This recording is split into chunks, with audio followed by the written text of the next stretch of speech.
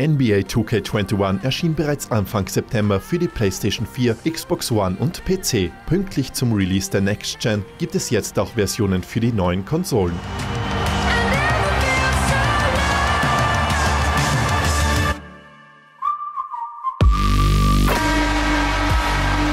Kommen wir gleich zum größten Unterschied zur alten Fassung, die Grafik.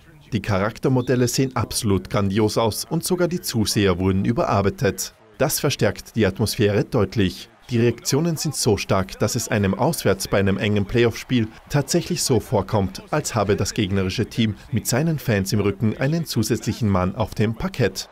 NBA 2K21 profitiert auf der PlayStation 5 stark von der verbesserten Physik. Man spürt jeden Körperkontakt und kann sich nicht mehr so einfach zum Korb durchtanken. Zweikämpfe spürt man dank adaptiver Triggertasten auch im Controller. Es ist nun nicht mehr möglich, sich an den Hitboxen der Gegner vorbeizudrängeln, da jedes Körperteil simuliert wird. Man muss nun wirklich arbeiten und guten Basketball spielen.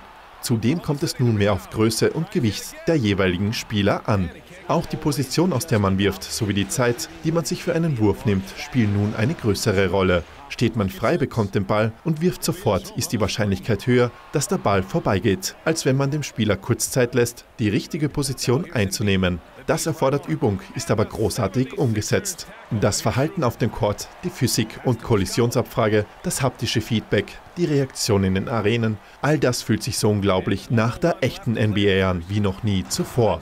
Wie in der Old-Gen-Version ist ein weiteres Mal My Career am Start. Allerdings ersetzt The City nun den Nachbarschaftsmodus. In der Stadt gibt es verschiedene Gebiete mit unterschiedlichen Events und Quests.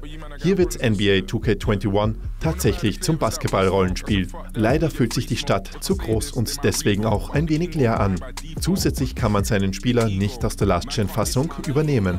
Mikrotransaktionen sind wieder drin, ob nun im Karrieremodus, in dem man die Story eines selbst erstellten Spielers verfolgt, oder im FIFA Ultimate Team ähnlichen My Team. Wer nicht sehr viel Zeit investiert oder eben für Echtgeld Virtual Credits kauft, der wird nicht wirklich vorankommen. Man verdient zwar auch durch spielerische Leistungen Währung, doch gerade Skillpunkte in der Karriere sind nicht gerade erschwinglich.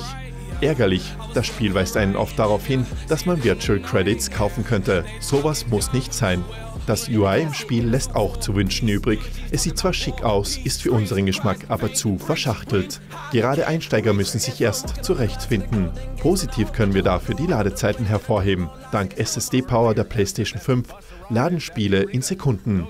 Käufer der Standardversion für PlayStation 4 oder Xbox One bekommen kein gratis Next-Gen-Update, wie es beispielsweise bei FIFA 21 oder Dirt 5 der Fall ist.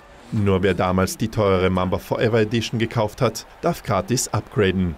Alle anderen müssen erneut zahlen. Zwar glänzt NBA 2K21 nicht in allen Belangen, auf dem Court ist der Titel dafür ein hervorragendes Spiel, das fantastisch aussieht, sich genial anfühlt und noch mehr Basketball-Simulation als die Vorgänger bietet. Leider trüben die doch schon recht präsenten Mikrotransaktionen das ansonsten gute Bild. Dennoch, der Sprung auf die Next Gen ist geglückt Dank verbesserter Grafik steigt die Atmosphäre um ein Vielfaches. Gerade Basketballfans werden am Court viel Spaß mit dem Titel haben.